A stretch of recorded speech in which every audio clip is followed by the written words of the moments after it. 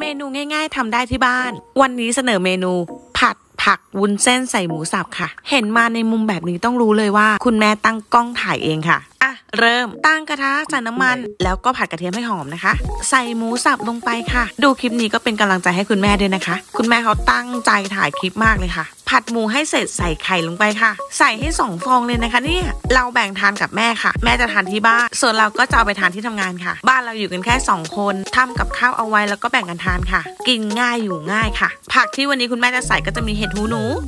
แล้วก็ใส่กระเทียมค่ะ ใส่กระเทียมหั่นอีกรอบหนึ่งนะคะ ผัดให้สุกค่ะ เมนูผัดวุ้นเส้นหมูสับเนี่ยกินมาตั้งแต่เด็กเลยนะคะ แบบที่โรงอาหารนะชอบทำเมนูนี้บ่อยมากอะไฮไลท์ก็คือใส่วุ้นเส้นลงไปค่ะ ผัดให้ทุกอย่างสลดนะคะ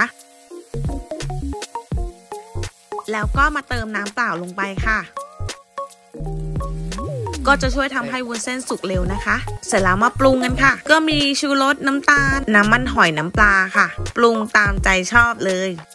เป็นเมนูที่คุ้นเคยแต่เด็กๆเลย โตขึ้นมาก็ยังชอบกินอยู่เหมือนเดิมค่ะ หรือว่าไม่ว่าจะไปไหนนะคะ เจออาหารข้าวราดแกง ก็ต้องเล็งผัดวุ้นเส้นใส่หมูสับก่อนทุกทีเลยค่ะ ยังไม่เสร็จนะคะ คุณแม่จัดหนักทุกรอบ ใส่พริกแล้วก็ต้นหอมเป็นอันเสร็จค่ะ เพื่อนๆลองเอาวิธีการทำของคุณแม่ไปนะคะเขาบอกว่าอร่อยนี่ค่ะห่อมาทานที่ทำงานกินข้าวฝีมือแม่ทุกวันเลยค่ะ